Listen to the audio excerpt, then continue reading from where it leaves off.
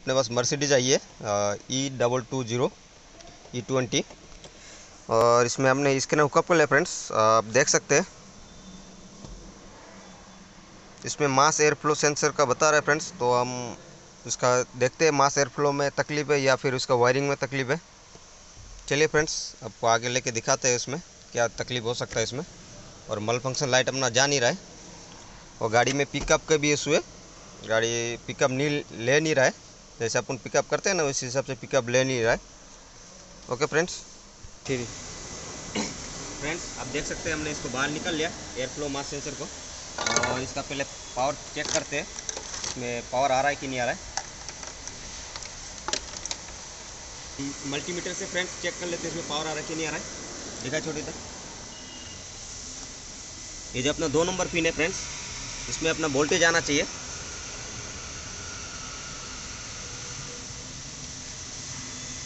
देखिए वो दिखा मल्टी यहाँ पे देखा? मल्टीमीटर में दिखा।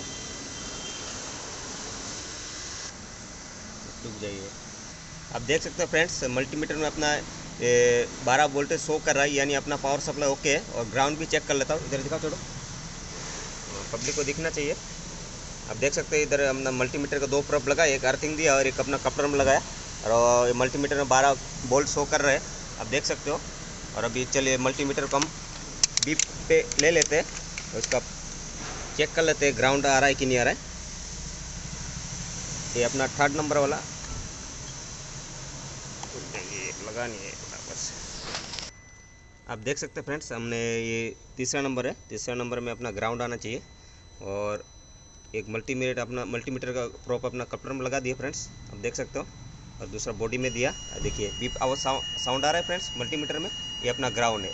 तो अपना मतलब चारों वायर में पावर सप्लाई आ रहा है।